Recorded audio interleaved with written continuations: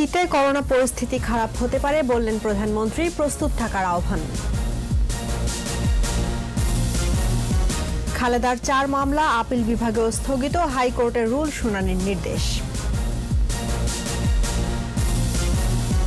AC রুমে সীমাবদ্ধ বিএনপির হাঁক ডাক মন্তব্য ওবায়দুল কাদেরের, প্রধানমন্ত্রী মহানুভবতায় খালেদার জামিন বললেন তথ্যমন্ত্রী। অনলাইনে ছত্রিশ টাকায় পাওয়া যাবে টিসিবির পেঁয়াজ। প্রধানমন্ত্রীর নির্দেশে পাঁচ শতাংশ শুল্ক প্রত্যাহার। ওসি প্রদীপ ও তার স্ত্রীর সম্পত্তি ক্রোকের নির্দেশ। সহদর শাহেদের অস্ত্র মামলার রায় আঠাশ সেপ্টেম্বর।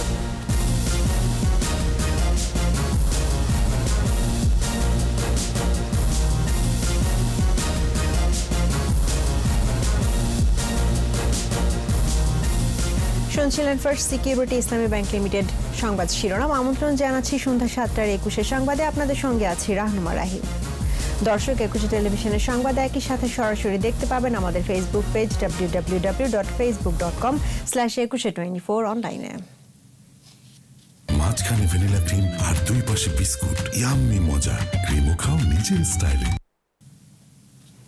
এছাড়া সংবাদে আরও থাকছে। ইলিশ উৎপাদনে নতুন রেকর্ড। বিশ্ব চাহিদার ছিয়াশি শতাংশ উৎপাদন দেশে দু বছরে বেড়েছে একুশ শতাংশ।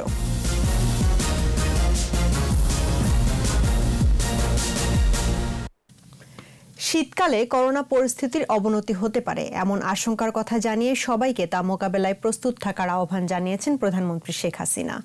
এমন পরিস্থিতিতেও অর্থনৈতিক কর্মকাণ্ড সচল ও নির্বিঘ্ন রাখতে সরকার আন্তরিক বলেও উল্লেখ করেন প্রধানমন্ত্রী। বিস্তারিত জানাচ্ছেন আকবর হোসেন সুমন। প্রধানমন্ত্রীর ত্রাণ ও কল্যাণ তহবিলে একশো পঁয়ষট্টি কোটি ষাট লাখ টাকা জমা পড়েছে।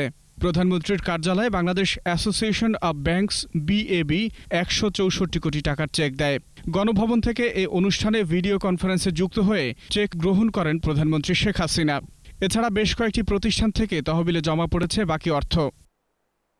অনুষ্ঠানে আর্থিক প্রতিষ্ঠানগুলোর প্রতি কৃতজ্ঞতা প্রকাশ করেন প্রধানমন্ত্রী। যাতে ব্যবসা বাণিজ্য আপনারা চালায় যেতে পারেন, তার জন্য যা যা করণীয় সে ব্যবস্থা আমরা কিন্তু নিয়েছি। ইতিমধ্যে বিভিন্ন প্রণোদনা দিয়েছি। এই প্রণোদনা যার ফলে আমি মনে করি আমাদের দেশের ব্যবসা বাণিজ্যগুলি সচল থাকা সম্ভব হচ্ছে। আর এবারে করোনা ভাইরাসে দেখা গেছে যে আমাদের সকলেই খুব আন্তরিকতার সাথে কাজ করেছে। সবাই আমি কারও বাদ দিতে পারব না। এ সময় তিনি মানুষের পাশে থেকে করোনা পরিস্থিতি মোকাবেলায় সরকারের অবস্থান তুলে ধরেন। সামনে শীত আর একটু হয়তো খারাপের দিকে যেতে পারে তবু আমাদের এখন থেকে প্রস্তুতি থাকতে হবে। তো ব্যাংক অ্যাসোসিয়েশন সবসময় আমাদেরকে যে কোনো সময়টা কিছু হলেই কোনো দুর্যোগ দুর্বিপাক বা যা কিছু হোক এমনকি মুজিব বর্ষে সবসময় আপনারা এগিয়ে এসেছেন নিজেরাই এগিয়ে এসেছেন। সেই জন্য আন্তরিক ধন্যবাদ জানাই। আর্থিক প্রতিষ্ঠানের প্রতি সরকারের বিশেষ নজর থাকায় সৃষ্টি হয়েছে কর্মসংস্থান। তাই এ খাতকে আরও শক্তিশালী করার তাগিদ দেন সরকার প্রধান। আমরা যত বেশি প্রাইভেট ব্যাংক দিয়েছি ব্যাপক হারে কর্মসংস্থান হয়েছে অনেক মানুষের চাকরি হয়েছে। এটা হচ্ছে সবথেকে বড় কথা। আর আমাদের ব্যবসা বাণিজ্য সম্প্রসারিত হয়েছে। তো সেখানে ব্যাংকগুলি যাতে ভালোভাবে চলে আমরা সেটাই চাই। সেই ক্ষেত্রে অবশ্যই ব্যাংকের আইন বা যা কিছু আমরা করি আপনারা যখন যে দাবি টাবি আনেন যেটা যুক্তিসঙ্গত সেগুলো আমরা সবসময় বিবেচনা করি দেখি। করোনাকালের অনুদান মানুষের কল্যাণে বিশেষ কাজে লাগবে বলে উল্লেখ করেন প্রধানমন্ত্রী। আপনাদের এই অনুদান সাধারণ মানুষের কল্যাণে কাজে লাগবে। Akbar Hossain Sumon Ekushey television Dhaka. BNP chairperson Begum Khaleda জিয়ার বিরুদ্ধে করা নাশকতা ও রাষ্ট্রদ্রোহের চার মামলার কার্যক্রমের ওপর হাইকোর্টের স্থগিতাদেশ বহাল রেখেছেন আপিল বিভাগ। হাইকোর্টের আদেশের বিরুদ্ধে রাষ্ট্রপক্ষের আবেদন নিষ্পত্তি করে রোববার বিচারপতি মোহাম্মদ ইমান আলীর নেতৃত্বাধীন ভার্চুয়াল আপিল বেঞ্চ এ আদেশ দেন। শাকের আরজুর রিপোর্ট। নাশকতার অভিযোগে রাজধানীর দারুসালাম থানায় দু হাজার পনেরো সালে খালেদা জিয়ার বিরুদ্ধে আলাদা তিনটি মামলা হয়। আর রাষ্ট্রদ্রোহিতার অভিযোগে দু হাজার ষোলো সালের পঁচিশ জানুয়ারি তার বিরুদ্ধে ঢাকার আদালতেও একটি মামলা হয়। এসব মামলার বৈধতা নিয়ে হাইকোর্টে আলাদা আবেদন করেন খালেদা জিয়া। এর প্রেক্ষিতে দুই সালের মার্চ ও এপ্রিলে হাইকোর্ট রুল দিয়ে চার মামলার কার্যক্রমে স্থগিতাদেশ দেন। এর বিরুদ্ধে আবেদন করে রাষ্ট্রপক্ষ। সরকার পক্ষের আপিল ছিল যে মামলার কার্যক্রম যে হাইকোর্ট স্থগিত করেছে সেগুলো বিরুদ্ধে আপিলটা ছিল। আপিল ডিভিশন উভয় পক্ষে শুনে সরকার পক্ষ এবং আমাদেরকে শুনে হাইকোর্টের সেটা আদেশ বহাল রেখেছে। খালেদা জিয়ার এই আইনজীবী জানান আদেশে হাইকোর্টে রুল শুনানি করতে বলা হয়েছে। অর্থাৎ মামলার কার্যক্রম চলবে মামলাগুলোর হাইকোর্টে নিষ্পত্তি করার জন্য এই মামলাগুলো ছাড়া আরও বারোটি মামলার কার্যক্রম স্থগিত রেখেছে আপিল বিভাগ। এদিকে বিএনপি চেয়ারপারসনের মুক্তির মেয়াদ শর্ত সাপেক্ষে আরও ছয় মাস বাড়িয়েছে সরকার। শাকেরা আরজু, একুশে টেলিভিশন, ঢাকা। আওয়ামী লীগ সাধারণ সম্পাদক ওবায়দুল কাদের বলেছেন, বিএনপির আন্দোলনের হাঁক ডাক আর তর্জন গর্জনই শুধু শোনা যায়, কিন্তু বর্ষণ দেখা যায় না, যাবেও না। বিআরটি এর বিশেষ সেবা সপ্তাহের উদ্বোধনী অনুষ্ঠানে তিনি বলেন, তাদের আন্দোলন শীতাতপ নিয়ন্ত্রিত রুমের মধ্যেই সীমাবদ্ধ। এদিকে তথ্যমন্ত্রী ডক্টর হাসান মাহমুদ বলেছেন, খালেদা জিয়ার জামিনের মেয়াদ বৃদ্ধি করে প্রধানমন্ত্রী মহানুভবতার পরিচয় দিয়েছেন। সাইদুল ইসলামের report. Bangladesh road transport authority BRT এর বিশেষ সেবা সপ্তাহের উদ্বোধনী অনুষ্ঠানে ভিডিও কনফারেন্সে যোগ দেন সড়ক পরিবহন ও সেতুমন্ত্রী ওবায়দুল কাদের। বক্তৃতায় বিএনপি মহাসচিবের সরকার হটানোর প্রসঙ্গ টেনে আওয়ামী লীগ সাধারণ সম্পাদক বলেন, জনগণ তাদের কথা শুনছে না। গত দশ বছরে অধিক সময় ধরে বিএনপির আন্দোলনের অনেক হাঁক ডাক এদেশের মানুষ শুনেছে। অথচ রাজপথে তারা তাদের নেত্রীর মুক্তির দাবিতেও পাঁচশো লোকের একটি বিক্ষোভ মিছিল দেখাতে পারেনি। তর্জন গর্জনই শুধু শুনেছি কিন্তু বর্ষণ দেখিনি। আওয়ামী লীগের হাত ধরেই স্বাধীনতা এসেছে উল্লেখ করে ওবায়দুল কাদের বলেন দেশের প্রতিটি অর্জনের সাথেই মিশে আছে আওয়ামী লীগ। সার্বভৌমত্ব স্বাধীনতা যারা এনেছে তাদের হাতে স্বাধীনতা নিরাপদ। এদিকে সচিবালয়ে সাংবাদিকদের সাথে সাম্প্রতিক রাজনৈতিক বিভিন্ন ইস্যুতে কথা বলেন তথ্যমন্ত্রী ও আওয়ামী লীগের প্রচার সম্পাদক ডক্টর হাসান মাহমুদ। তিনি বলেন খালেদা জিয়ার জামিন নিয়ে বিএনপি নেতারা যা বলছেন তাতে আগামীতে জনগণই তার জামিনের বিরোধিতা করবে। মির্জা ফখরুল ইসলাম আলমগীর সাহেবের উচিত ছিল এই মহানুভবতার জন্য মাননীয় প্রধানমন্ত্রীকে ধন্যবাদ জানানোর কৃতজ্ঞতা জানানো। ভবিষ্যতে যখন এই প্রসঙ্গ আসবে তখন জনগণের পক্ষ থেকে হয়তো বলা হতে পারে আদালতের মাধ্যমে কোনো জামিন পাননি।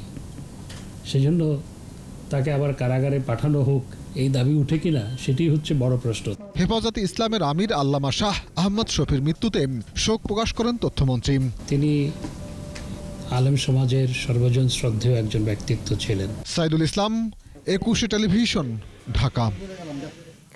ছত্রিশ টাকা কেজি দরে অনলাইনেই পাওয়া যাবে টিসিবির পেঁয়াজ। একজন গ্রাহক সর্বোচ্চ তিন কেজি কিনতে পারবে। টিসিবির কাছ থেকে কিনে সর্বোচ্চ ত্রিশ টাকা ডেলিভারি চার্জ নিয়ে বিক্রি করবে ই কমার্স প্রতিষ্ঠানগুলো। এদিকে কেজিতে ত্রিশ টাকা দরে রাজধানী সহ দেশের বিভিন্ন স্থানে খোলা বাজারে পেঁয়াজ বিক্রি করছে টিসিবি। আর এলসি করা সব পেঁয়াজ রপ্তানির জন্য ভারতের প্রতি দাবি জানিয়েছেন ব্যবসায়ীরা। এদিকে প্রধানমন্ত্রীর নির্দেশে পেঁয়াজ আমদানিতে পাঁচ শতাংশ শুল্ক প্রত্যাহার করা হয়েছে।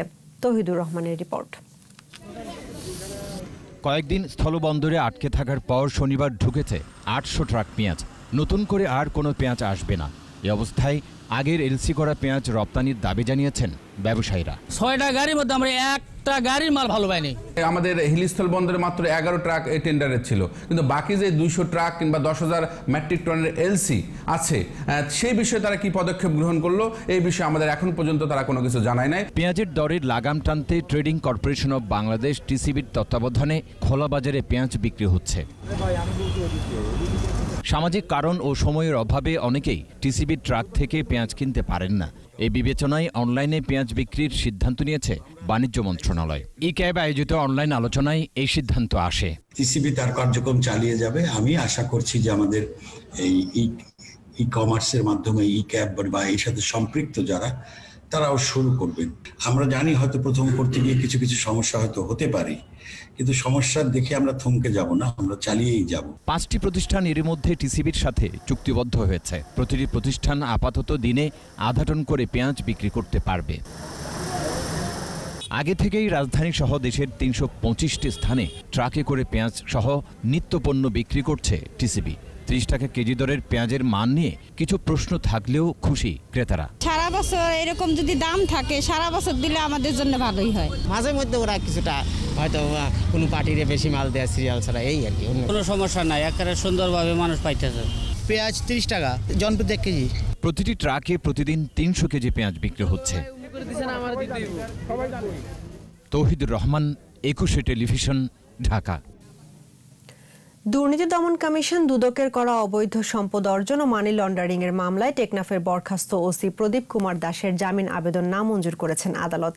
একই সাথে প্রদীপ দাস ও তার স্ত্রীর সম্পত্তি ক্রোকেরও নির্দেশ দেন চট্টগ্রামের জ্যেষ্ঠ বিশেষ ও মহানগর দায়রা জজ শেখ আশফাকুর রহমানের আদালত। চট্টগ্রাম থেকে রিপোর্ট করছেন শিউলি শবনম। সকালে মহানগর দায়রা জজ আশফাকুর রহমানের আদালতে ওসি প্রদীপ দাসের জামিন আবেদনের পাশাপাশি আরও দুটি আবেদন জমা দেন তার আইনজীবীরা। এর মধ্যে উন্নত চিকিৎসার জন্য হাসপাতালে পাঠানো এবং মামলার সুবিধার্থে কারাগারে গিয়ে তার সঙ্গে দেখা করা। আদালত দুপক্ষের যুক্তিতর্ক শুনে তা নামঞ্জুর করেন। একই সাথে দুদকের আবেদনের প্রেক্ষিতে অবৈধ সম্পদ অর্জনের মামলা এজাহারভুক্ত করে প্রদীপ ও তার স্ত্রীর সম্পত্তি ক্রোকেরও আদেশ দেন আদালত।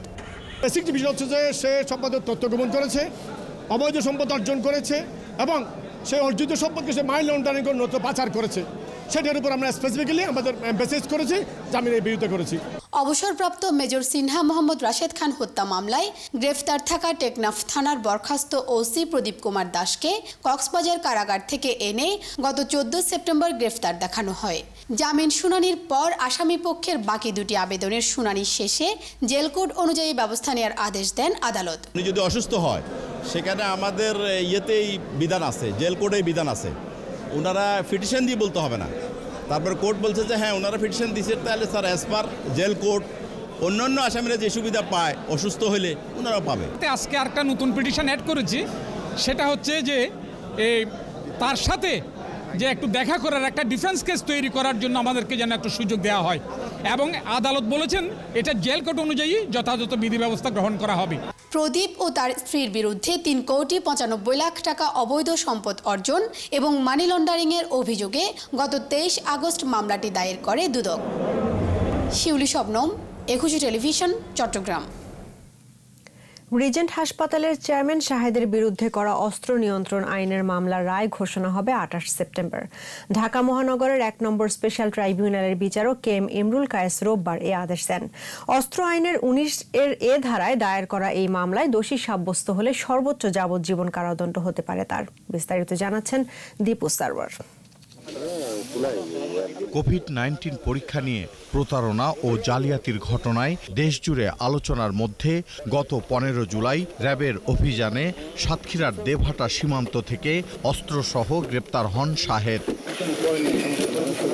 পরে তাকে ঢাকায় এনে ঢাকা মহানগর গোয়েন্দা পুলিশের কাছে হস্তান্তর করা হয়। আঠারো জুলাই সাহেবকে নিয়ে উত্তরায় অভিযান চালিয়ে তার একটি গাড়ি থেকে গুলিসহ একটি পিস্তল এবং কিছু মাদক জব্দ করে গোয়েন্দা পুলিশ। ওই ঘটনায় উত্তরা পশ্চিম থানায় মামলা করে পুলিশ।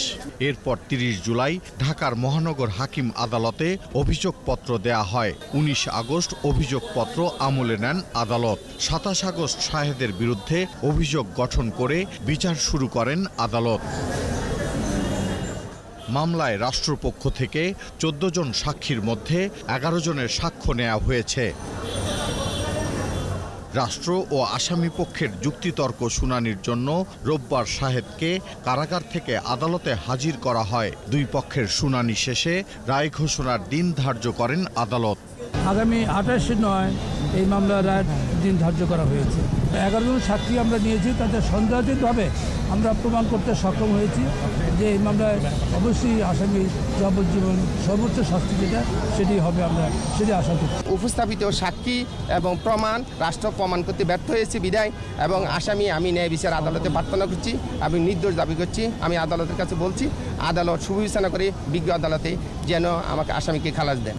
শুধু অস্ত্র মামলায় নয় সব মিলিয়ে সাত মামলার আসামি প্রতারক শাহেদ। তার বিরুদ্ধে দায়ের হওয়া বেশিরভাগই প্রতারণার মামলা। দীপু সারওয়ার একুশে টেলিভিশন, ঢাকা। আগের সব রেকর্ড ভেঙে এবার বিশ্ব চাহিদার ছিয়াশি শতাংশ ইলিশ উৎপাদন হয়েছে বাংলাদেশে। দুই বছরের মধ্যে বেড়েছে একুশ শতাংশ। মৎস্য প্রাণী সম্পদ মন্ত্রী সম রেজাউল করিম জানিয়েছেন, সরকারের নানা উদ্যোগে প্রতি বছরই উৎপাদন বাড়ছে। উৎপাদনের এই ধারা ধরে রাখতে নদীতে ইলিশ বিচরণের পরিবেশ ঠিক রাখার পরামর্শ বিশেষজ্ঞদের। আরও জানাচ্ছেন মফিউর রহমান। বাংলার মাছ ইলিশ। বাংলাদেশের ভৌগোলিক নির্দেশক বা জিআই পণ্য। সাগরে বাস হলেও ডিম পাড়তে আসে নদীতে। অবাধে ইলিশ শিকার, নদী দূষণে ধীরে ধীরে কমতে থাকে ইলিশ উৎপাদন। তবে দুই হাজার সতেরো সালের পর থেকে প্রতি বছরই বাড়ছে ইলিশের উৎপাদন। উৎপাদন বাড়াতে অভয়াশ্রম বৃদ্ধি জাটকা নিধন বন্ধ, জেলেদের আর্থসামাজিক নিরাপত্তা নিশ্চিত করে ডিম ছাড়ার সময় ইলিশ ধরা বন্ধ করা সহ নেওয়া হয় নানা উদ্যোগ। সারা বিশ্বের মধ্যে যে ইলিশ উৎপাদিত হয়, এক বাংলাদেশি ছিয়াশি শতাংশ ইলিশ উৎপাদিত হয়েছে। এবং ইলিশের পরিমাণটা অনেক ব্যাপক যেমন, ইলিশের সাইজ অনেক বড়। তার অন্যতম কারণ হচ্ছে, প্রধানমন্ত্রী শেখ হাসিনা সরকার কঠোর অবস্থানে নিয়েছিলেন যে জাটকা নিধন করা যাবে না, মা ইলিশ ধরা যাবে না কারেন্ট জাল বা বেহুন্দি জাল ব্যবহার করা যাবে না। বিশেষজ্ঞরা বলছেন, করোনাকালে নৌ চলাচল কম থাকায় ইলিশ নদীতে বাধাহীনভাবে ঢুকেছে। এছাড়া পানিতে ফাইটোপ্লাঙ্কটন ও জুপ্লাঙ্কটন বেশি থাকায় পর্যাপ্ত খাবার পাওয়ায় গড় ওজনও বেড়েছে। পলিউশন লেভেলটা কমে যাওয়ার ফলে তাদের আধিক্যটা বেশি পেয়েছে। আধিক্যটা বেশি পাওয়ার ফলে এই মাছ তার খাবারটা নিতে পেরেছে বেশি সময় মতো নিতে পেরেছে। নিয়ে পাওয়ার ফলেই তো তার বডিটা ডেভেলপ করবে। আগে গড় ছিল হয়তো পাঁচশো সাড়ে পাঁচশো গ্রাম। এখন কিন্তু আমরা নয়শো গ্রামের উপরে দেখতে পাচ্ছি। ভবিষ্যতে এই ধারা রাখতে প্রয়োজনীয় পদক্ষেপ নেওয়ারও আহ্বান এই বিশেষজ্ঞের। মফিউর রহমান, একুশে টেলিভিশন, ঢাকা। জেলা, উপজেলা ও ইউনিয়ন পরিষদ নির্বাচনে দলীয় মনোনয়ন ফর্ম বিক্রি ও জমা দেওয়ার শেষ দিনে মুখর ছিল আওয়ামী লীগ সভাপতির রাজনৈতিক কার্যালয়। এক একটি উপজেলা ও ইউপিতে মনোনয়ন প্রত্যাশীর অভাব নেই। যারাই ফর্ম জমা দিয়েছেন, সবাই জয়ের ব্যাপারে আশাবাদী। তৃণমূলের সমর্থন, দলের প্রতি আনুগত্য এবং পরিচ্ছন্ন ভাবমূর্তির নেতাদের মূল্যায়ন করার কথাই জানিয়েছেন কেন্দ্রীয় নেতারা। আরও জানাচ্ছেন প্রণব চক্রবর্তী। দেশের চার জেলা, নয় উপজেলা ও একষট্টিটি ইউনিয়ন পরিষদ নির্বাচন সামনে রেখে মনোনয়ন ফর্ম বিক্রির শেষ দিন। সকাল থেকেই দেশের বিভিন্ন এলাকার নেতাকর্মীদের ভিড়, আওয়ামী লীগ সভাপতির ধানমন্ডি কার্যালয়ে। মনোনয়ন ফর্ম যারা নিয়েছেন বা জমা দিয়েছেন, জয়ের ব্যাপারে আশাবাদী সবাই। আমি আমার বাবার অনেকগুলি উন্নয়নমূলক কাজ হাতে নিয়েছিলেন এগুলি অসমাপ্ত। আমি আশা করি এগুলি আমার দ্বারা সমস্ত সম্পন্ন হবে। নির্বাচনটা সেভাবে স্বাস্থ্যবিধি মেনেই হোক সেটাই আশা করব এবং আমি আমার সর্বোচ্চ চেষ্টা করব যেহেতু এটা বিশ্বব্যাপী একটা স্বাস্থ্য দুর্যোগ চলতেছে। আমি সেভাবেই আমার প্ল্যানিং রেখেছি। আমার দল যদি কাউকে অন্য কাউকে নমিনেশন দেয় আমার কোনো আপত্তি নেই আমি দলের প্রতি দলের সিদ্ধান্ত। মাথা পেতে মেনে নেব। তবে মনোনয়নের ক্ষেত্রে দলের প্রতি আনুগত্য এবং ত্যাগকে বিবেচনায় রাখার কথা জানিয়েছেন আওয়ামী লীগের দপ্তর সম্পাদক। যদি কোনো কারণ আপত্তি থেকে থাকে এক্ষেত্রে ওই জেলা আওয়ামী লীগ স্থির করে জানাবে যে কাদেরকে আমরা মনোনয়ন ফর্ম আমরা বিতরণ করব। আমরা ওই নিয়ম অনুসরণ করেই আমরা স্থানীয় সরকার পরিষদ নির্বাচনের জন্য মনোনয়ন ফর্ম আমরা বিতরণ করে যাচ্ছি এবং জমা দিচ্ছি সোমবার পর্যন্ত মনোনয়ন ফর্ম জমা দেয়া যাবে। ওই দিনই স্থানীয় সরকার মনোনয়ন বোর্ডের সভায় চূড়ান্ত হবে দলীয় প্রার্থিতা। প্রণব চক্রবর্তী, একুশে টেলিভিশন, ঢাকা। কোভিড নাইন্টিনে দেশে আরও ২৬ জনের মৃত্যু হয়েছে। এর মধ্যে সতেরো জন পুরুষ ও নারী নয়। মৃতের সংখ্যা বেড়ে চার হাজার নশো উনচল্লিশ। স্বাস্থ্য অধিদপ্তরের প্রেস বিজ্ঞপ্তিতে জানানো হয়, একশো সাতানব্বইতম দিনে দেশে সাতানব্বইটি ল্যাবে এগারো হাজার পাঁচশো একানব্বইটি নমুনা পরীক্ষায় শনাক্ত হয়েছে এক হাজার পাঁচশো চুয়াল্লিশ জন। শনাক্তের সংখ্যা বেড়ে তিন লাখ আটচল্লিশ হাজার নশো ষোলো। নতুন দুই হাজার একশো উনআশি জন সহ সুস্থ হয়েছেন দুই লাখ ছাপ্পান্ন হাজার পাঁচশো পঁয়ষট্টি জন। করোনায় পুরুষ মৃত্যুর হার আটাত্তর দশমিক আট সাত শতাংশ ও নারী বাইশ দশমিক এক তিন শতাংশ। সবচেয়ে বেশি মৃত্যু হয়েছে ঢাকা বিভাগে দু হাজার চারশো তেইশ ও চট্টগ্রাম বিভাগে এক হাজার ছাব্বিশ জন। এ পর্যন্ত করোনা পরীক্ষা হয়েছে আঠারো আঠারো লাখেরও বেশি। ঢাকা দক্ষিণ সিটি কর্পোরেশনে অন্তত ষোলোটি ওয়ার্ডে ডেঙ্গুর ঝুঁকি আছে। এই ওয়ার্ডগুলোতে পাওয়া গেছে এডিসের লার্ভা। সেই হিসেবে দক্ষিণের চেয়ে উত্তরের অবস্থা কিছুটা ভালো। তারপরও এবার রাজধানীতে ডেঙ্গু চিকনগুনিয়ার প্রভাব প্রকোপ বেশ কম, সাইদুল ইসলামের রিপোর্ট। গত কয়েক বছর বর্ষা মৌসুমে আতঙ্ক হিসেবেই এসেছিল ডেঙ্গু। তবে এ বছরের চিত্র অন্য বছরের তুলনায় বেশ ভালো। ডিএসসিসির উনষাটটি এলাকায় প্রায় দেড় হাজার বাড়িতে ডেঙ্গু, চিকুনগুনিয়া ও জিকা ভাইরাসের উপর এক জরিপে দেখা যায়, এডিস মশার প্রজনন বহুতল ভবনে একান্ন দশমিক তিন চার শতাংশ। নির্মাণাধীন ভবনে বিশ দশমিক তিন দুই শতাংশ, বস্তি এলাকায় বারো দশমিক আট তিন শতাংশ। একক ভবনে বারো দশমিক পাঁচ সাত শতাংশ এবং পরিত্যক্ত জমিতে দুই দশমিক নয় চার শতাংশ। ঢাকা দক্ষিণ সিটির ষোলোটি ওয়ার্ডে ডেঙ্গুর ঝুঁকি বেশি। তবে সবচেয়ে বেশি ঝুঁকিতে আছে মীর হাজিরবাগ ধুলাইপাড় ও গ্যান্ডারিয়া এলাকাসহ আরও কয়েকটি এলাকা।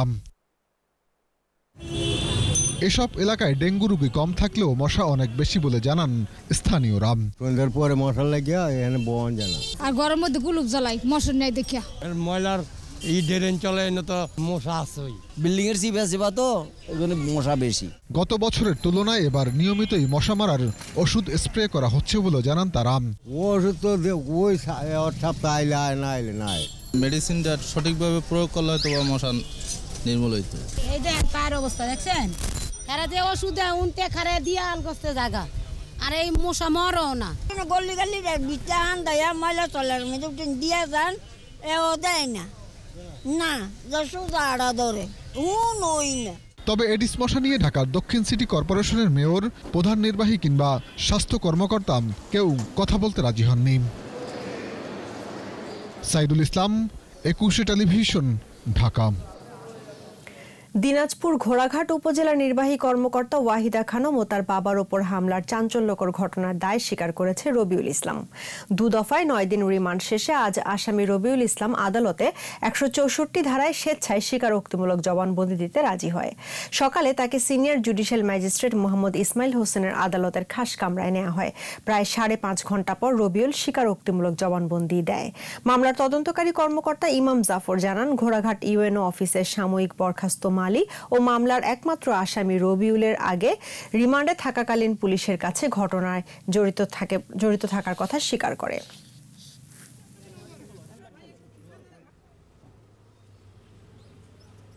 দায় স্বীকারের এক পর্যায়ে আমরা বিজ্ঞ আদালতে আবেদন দিয়েছিলাম। তার স্বীকারোক্তিমূলক দায়বদ্ধ মানে দায়টা লেখার লেখার জন্য, জবানবন্দি লেখার জন্য। বিজ্ঞ আদালত তার কাছ থেকে তার স্বীকারোক্তিমূলক স্বেচ্ছায় প্রদেশ স্বীকারোক্তিমূলক জবানবন্দি করে এবং সে তার ঘটনার দায় স্বীকার করেছে। প্রকৌশল বিশ্ববিদ্যালয় বুয়েটের শিক্ষার্থী আবরার ফাহাদকে পিটিয়ে হত্যা মামলায় পঁচিশ আসামির বিরুদ্ধে সাক্ষ্য গ্রহণ পিছিয়েছে। আবরারের বাবা অসুস্থ থাকায় সাক্ষ্য দিতে পারেননি। পরবর্তী সাক্ষ্য গ্রহণের দিন পাঁচ অক্টোবর ধার্য করেছেন আদালত। গত পনেরো সেপ্টেম্বর ঢাকার দ্রুত বিচার ট্রাইব্যুনালের বিচারক আবু জাফর মোহাম্মদ কামরুজ্জামান আবরার হত্যা মামলার পঁচিশ আসামির অব্যাহতি ও জামিন আবেদন না মঞ্জুর করে অভিযোগ গঠন করেন। ওই দিন আদালত বিশ সেপ্টেম্বর সাক্ষ্য গ্রহণের দিন ধার্য করেছিলেন। বুয়েটের শেরে বাংলা হলের আবাসিক ছাত্র ও তড়িৎ কৌশল বিভাগের দ্বিতীয় বর্ষের শিক্ষার্থী আবরারকে গত বছরের ছয় অক্টোবর রাতে ছাত্রলীগের এক নেতার কক্ষে নির্যাতন চালিয়ে হত্যা করা হয়। পরদিন আবরারের বাবা বরকতুল্লাহ রাজধানীর চকবাজার থানায় বাদী হয়ে হত্যা মামলা করেন। আসামিদের মধ্যে বাইশ জন গ্রেফতার আছেন। তাদের মধ্যে আটজন আদালতে স্বীকারোক্তিমূলক জবানবন্দি দিয়েছেন। চতুর্থ দফা বন্যার পানি নামতে না নামতেই লালমনিরহাট ও জামালপুরে দেখা দিয়েছে তীব্র নদী ভাঙন। তিস্তা, যমুনা ও ব্রহ্মপুত্রের করাল গ্রাসে দিশেহারা নদী পারের বাসিন্দারা। প্রতিদিনই ভাঙনে নদী গর্ভে বিলীন হচ্ছে ঘরবাড়ি ও আবাদি জমি। সবকিছু হারিয়ে অনেকে হয়ে পড়ছেন নিঃস্ব। লালমনিরহাট প্রতিনিধি গোকুল রায় ও জামালপুর প্রতিনিধি আরিফ মাহমুদের সহায়তায় আরও জানাচ্ছেন সমর ইসলাম। উত্তরের জেলা লালমনিরহাট। তিস্তাপাড়ের গোকন্ডা, রাজপুর খুনিয়াগাছ মহেশখোচা ভুটমারি, গড্ডিমারি, ডাওয়াবাড়ি ও দহগ্রাম ইউনিয়নের প্রায় ত্রিশ গ্রামে দেখা দিয়েছে তীব্র ভাঙন। গত এক সপ্তাহের ভাঙনে এসব গ্রামের দেড় হাজারের বেশি বসত ভিটা ও তিন হাজার বিঘার বেশি আবাদি জমি নদীগর্ভে বিলীন হয়ে গেছে। চালচুলো হারিয়ে অনেকেই এখন নিঃস্ব। কেউ আবার বাড়িঘর সরিয়ে নিচ্ছেন অন্যত্র। ভাঙতে ভাঙতে নিঃস্ব হয়ে গেছে কিছু নাই খাওয়া ফাওয়া বাহিরে করে মিলি খাইবা। আমার থাকার কোনো জায়গা নেই বাচ্চা কাচ্চা নিয়ে খুব কষ্টে আছি। মানুষও জায়গা দেয় না আমরা রাস্তায় পড়িয়েছি সরকার যদি একটা স্থায়ী বাঁধের ব্যবস্থা করে তাহলে আমরা অনেক লাভবান হব। যমুনা ও ব্রহ্মপুত্রের ভাঙনে দিশেহারা জামালপুরের ইসলামপুর ও দেওয়ানগঞ্জের বাসিন্দারা। দুই উপজেলার তিলকপুর কাউনের চর গুচ্ছগ্রাম ব্যাপারীপাড়া সরকারপাড়া ও শেখপাড়ায় ব্রহ্মপুত্রের ভয়াল থাবায় বিলীন হয়েছে কয়েক হাজার একর ফসলি জমি ও বসত ভেটা। ভাঙনের কবল থেকে রক্ষা পাচ্ছে না শিক্ষা প্রতিষ্ঠান ও ধর্মীয় স্থাপনাও। থাই বাড়ি ঘর দিয়ে গুলো ভাঙিয়ে নিতেছে। সাত নম্বর ওয়ার্ড পুরাটাই গেছে ছয় নম্বর ওয়ার্ড অধিকাংশ চলে গেছে। ভাঙন কবলিত এলাকা পরিদর্শন করেছেন পানি উন্নয়ন বোর্ডের কর্মকর্তারা। জানান ব্যবস্থা নিতে ঊর্ধ্বতন কর্তৃপক্ষকে অবহিত করা হয়েছে। সমাধানের লক্ষ্যে আমরা দুটি প্রকল্প প্রস্তাবনা প্রণয়ন করছি। এর মাধ্যমে দশ কিলোমিটারের অধিক জায়গা আমরা নদী ভাঙন রোধে একটি স্থায়ী সমাধান করতে ইনশাল্লাহ সক্ষম। ভাঙন রোধে স্থায়ী ও কার্যকর উদ্যোগ দেখতে চান ভুক্তভোগীরা।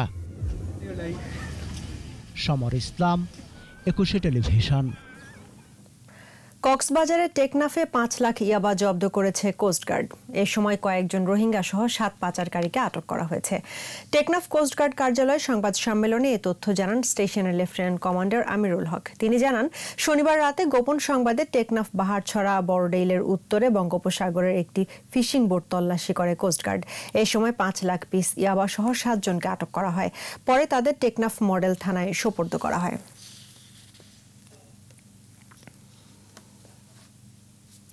স্বাধীনতার চেতনা এবং বঙ্গবন্ধুর দক্ষ নেতৃত্ব পথ চলার পাথেয় বলে মন্তব্য করেছেন বঙ্গবন্ধু শেখ মুজিবুর রহমানের দৌহিত্র রাদওয়ান মুজিব সিদ্দিক ববি। বঙ্গবন্ধুর রাষ্ট্র পরিচালনার নানা দিক নিয়ে আওয়ামী লীগের গবেষণা উইং সিআরআই এর বিশেষ সাময়িকী হোয়াইট বোর্ডের মোড়ক উন্মোচনের ভার্চুয়াল আয়োজনে এ মন্তব্য করেন তিনি। স্বাধীনতা এবং সংবিধান সমুন্নত রেখে দেশের সমস্যা ও সম্ভাবনা নীতি নির্ধারকদের কাছে তুলে ধরাই এই সাময়িকীর লক্ষ্য বলেও জানান রাদওয়ান সিদ্দিক ববি। করোনা পরবর্তী বিশ্বের চ্যালেঞ্জ মোকাবেলা ও স্বাধীনতার সুবর্ণ জয়ন্তীকে উপজীব্য করে দুটি সাময়িকী প্রস্তুতের পরিকল্পনার কথাও জানান হোয়াইট বোর্ড সংশ্লিষ্টরা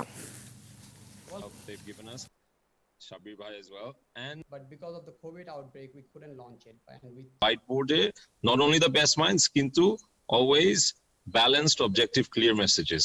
To maker white board দিয়ে আমরা কোনো একটা ইস্যু তুলবো, আমরা কিন্তু পজিটিভ নেগেটিভ সবকিছু নিয়ে আমাদের লিখতে হবে। এ পর্যায়ে সোশ্যাল ইসলামী ব্যাংক লিমিটেড বাণিজ্য সংবাদ।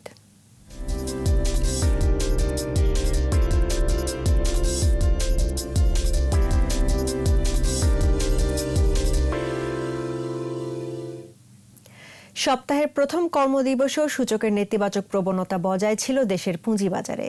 রোববার ডিএসসিতে লেনদেন হওয়া প্রতিষ্ঠানগুলোর মধ্যে দর বেড়েছে একশো তেইশটির, কমেছে একশো পঁচাশিটির আর অপরিবর্তিত ছিল আটচল্লিশটির দর।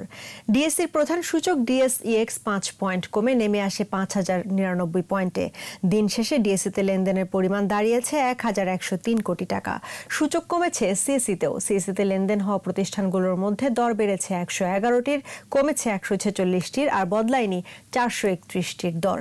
সেখানে মোট লেনদেন হয়েছে চৌত্রিশ কোটি নব্বই লাখ টাকা শেয়ার ও মিউচুয়াল ফান্ড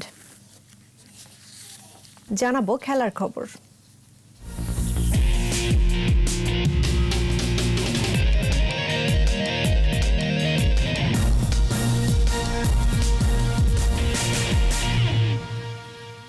ফুটবলের উন্নয়ন ধারা অব্যাহত রাখতে চান কাজী সালাউদ্দিন। বাংলাদেশকে দেখতে চান ফিফা র্যাঙ্কিংয়ে একশো পঞ্চাশের মধ্যে। বাংলাদেশ ফুটবল ফেডারেশন নির্বাচনী ইশতেহারে এমন প্রতিশ্রুতিই দিলেন তিনি। গত মেয়াদে অপূর্ণ থাকা প্রতিশ্রুতিও বাস্তবায়ন করবেন বলে জানান সালাউদ্দিন। আবু হুরায়রা তামিমের রিপোর্ট। বাংলাদেশ ফুটবল ফেডারেশনের নির্বাচনী ইস্তেহার ঘোষণা করল কাজী সালাউদ্দিনের সম্মিলিত পরিষদ। চতুর্থ মেয়াদে বাংলাদেশ জাতীয় দলের জন্য ছয় দফা প্রতিশ্রুতি দিয়েছে তারা। প্রতিশ্রুতির মধ্যে রয়েছে বঙ্গবন্ধু আন্তর্জাতিক ফুটবল টুর্নামেন্টের নিয়মিত আয়োজন আর নারী দলকে র্যাঙ্কিং তালিকায় নব্বইয়ের ঘরে আনা। সাফ চ্যাম্পিয়নশিপ ও এসএ গেমসের শিরোপা পুনরুদ্ধারের প্রয়োজনীয়তায় সকল উদ্যোগ গ্রহণ করা হবে। বাংলাদেশ জাতীয় ফুটবল দলের জন্য হাই প্রোফাইল কোচিং স্টাফ নিয়োগ প্রদান সহ উন্নত মানের প্রশিক্ষণ সুবিধা নিশ্চিত করা হবে। Player monitoring software health monitoring match analysis software সহ আধুনিক প্রযুক্তি নিশ্চিত করা হবে। ঘরোয়া ফুটবলের জন্য নয় দফা প্রতিশ্রুতি দেওয়া হয় ইস্তেহারে ঘরোয়া ফুটবলের সুনির্দিষ্ট পঞ্জিকা প্রণয়ন করে তো তদ অনুযায়ী ফুটবল খেলা লিগ খেলা প্রতিযোগিতাসমূহ আয়োজন করা হবে। প্রতি বছর সুনির্দিষ্ট তারিখে খেলোয়াড় দলবদল শুরু হবে এবং সুনির্দিষ্ট সময়ে খেলা সমাপ্তির লক্ষ্যে উদ্যোগ গ্রহণ করা হবে। জেলা ফুটবল রেস্টুরেন্টকে বাহুয়ে কর্তৃক বার্ষিকভাবে অর্থ বরাদ্দ দেওয়া হবে। শেখ রাসেল অনূর্ধ্ব দশ জাতীয় জুনিয়র ফুটবল চ্যাম্পিয়নশিপ আয়োজন করা হবে। নির্বাচিত হলে ফুটবলকে আধুনিক সাজে সাজাতে চান তারা। এবারের প্যানেলে পুরনোদের সাথে রয়েছে একাধিক নতুন মুখ। ফুটবল ফেস্টিভ্যাল আয়োজন করা হবে। আবু হুরায়রা তামিম একুশে টেলিভিশন ঢাকা। আর এরই সঙ্গে শেষ করছি সন্ধ্যা সাতটার একুশে সংবাদ। তবে যাবার আগে First Security Islami Bank Limited সংবাদ শিরোনামগুলো জানাব আরও একবার। শীতে করোনা পরিস্থিতি খারাপ হতে পারে বললেন প্রধানমন্ত্রী, প্রস্তুত থাকার আহ্বান। খালেদার চার মামলা আপিল বিভাগেও স্থগিত, হাইকোর্টের রুল শুনানির নির্দেশ। এসি রুমে সীমাবদ্ধ বিএনপির হাঁকডাক মন্তব্য ওবায়দুল কাদেরের প্রধানমন্ত্রী মহানুভবতায় খালেদার জামিন বললেন তথ্যমন্ত্রী। অনলাইনে ছত্রিশ টাকায় পাওয়া যাবে টিসিবির পেঁয়াজ, প্রধানমন্ত্রীর নির্দেশে পাঁচ শতাংশ শুল্ক প্রত্যাহার।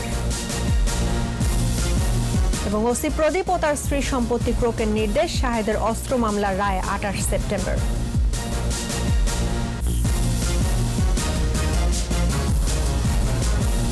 দর্শক, একুশের সর্বশেষ খবর জানতে ডায়াল করুন টু জিরো টু ওয়ান নম্বরে আর ভিজিট করুন একুশে ড্যাশ টিভি ডট কম এই ওয়েবসাইটে। এছাড়া ফেসবুকে লগ ইন করতে পারেন Facebook dot com slash Ekushey twenty four অনলাইনে এতক্ষণ সঙ্গে থাকার জন্য ধন্যবাদ। আমাদের পরবর্তী সংবাদ রাত নটায়। দেখার আমন্ত্রণ রইল। স্বাস্থ্যবিধি মেনে চলুন, সুস্থ থাকুন, একুশের সঙ্গেই থাকুন।